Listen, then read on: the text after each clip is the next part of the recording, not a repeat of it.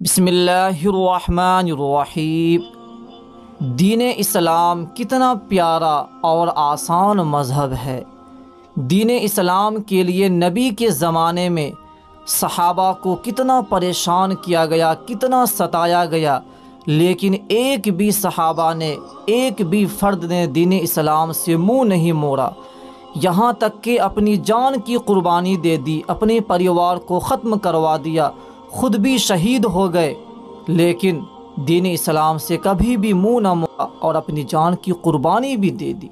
लेकिन आज का ज़माना है जो सिर्फ़ एक गेम की वजह से ऐसी मोहब्बत हुई कि उसने दीन इस्लाम को ही छोड़ दिया। अल्लाह उसे सही समझ नसीब फरमाए। लेकिन मैंने सीमा हैदर के बारे में, जो पाकिस्तान से चार बच्चों के साथ आई है, एक गेम से होने वाली मोहब्बत से मैंने इसके बारे में काफ़ी सोचा और काफ़ी समझा, और मुझे ये बात समझ आई कि जिस औरत को कलीमा नमाज़ का पता ना हो, दीन इस्लाम के बारे में उसे कुछ भी पता ना हो तो ज़ाहिर सी बात है उसे दीन इस्लाम को छोड़ने में कितना वक्त लगेगा।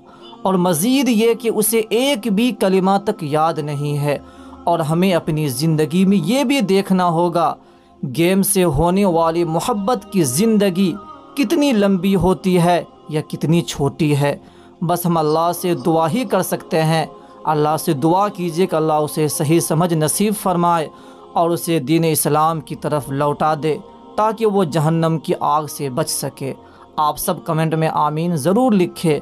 क्या पता किसके आमीन लिखने से दुआ कबूल हो जाए और वो दीन इस्लाम की तरफ़ लौट आए और मेरी कई बहनें हैं, कई बेटियाँ हैं, वो सब भी इन चीज़ों से बच सके। अस्सलाम वरहमल रहमतुल्लाहि व